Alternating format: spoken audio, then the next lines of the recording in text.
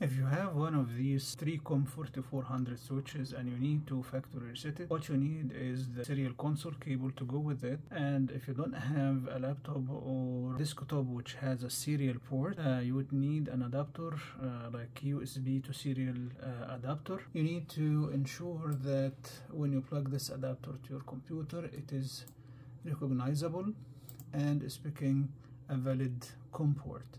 Make note of this COM port and then you would need a tool like PuTTY to be able to access the switch. So you select the serial, open PuTTY, select serial, enter the COM port and on the speed just type 19200 and then hit open. Then you plug the connect your serial console serial cable to the console port at the back of the switch then power the switch by simply plug the power cord to the switch and wait for a few seconds.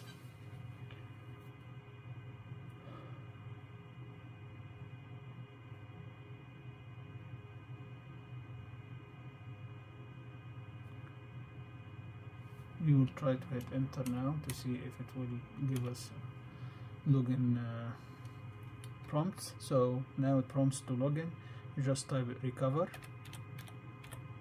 as the username and recover again as the password. When it's counting down unplug the power cord from the switch. Wait for a few seconds or count to 10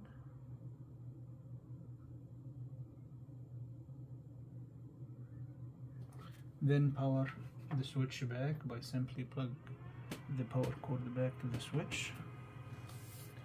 We will wait for a couple of seconds.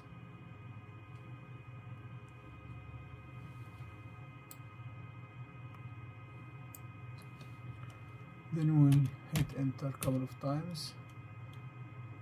At this point it asks enter the new password for the admin user. We just hit enter for blank password.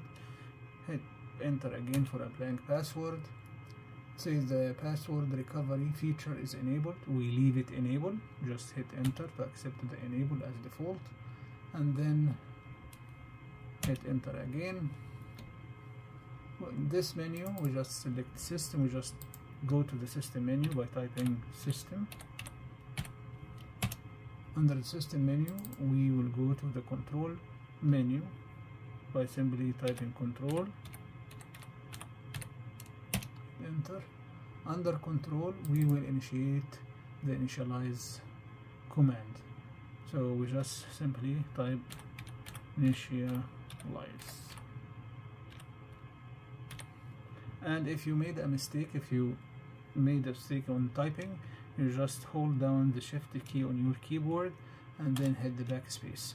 Okay? Hit enter when prompt just type yes to continue the initialization process. Hit enter and just wait for a few minutes before uh, continue. So in a couple of minutes the process will uh, will be able to uh, access the the default menu if I if I hit enter a couple of times now. So uh, login will be admin. Password will be blank. Most probably will be prompted to uh, that the initialization process is still yeah so the initialization uh, process is still in progress. So we will just uh, wait. We can hit enter. Meanwhile we can go we can actually go to the get, getting started.